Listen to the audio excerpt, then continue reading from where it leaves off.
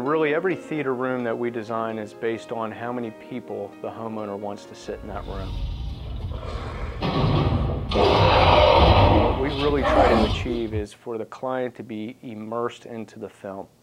We want them to forget everything that's going on in the outside world. And once we can achieve that, no matter what the budget is, we've accomplished our job. On the wall here is a 103 inch 16 by 9 diagonal screen. This room was a complete emptied shell when we started. Um, Encore designed, engineered, and installed this project from the ground up. We did all the trim, all the columns from scratch.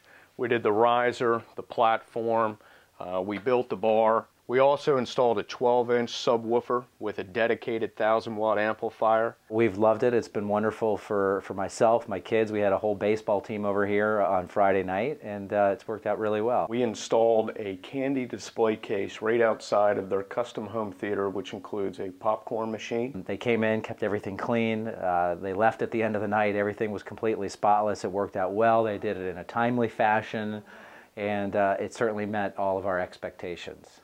I think the most gratifying thing about my job is to see the end product um, and see the smiles that come on my clients' faces.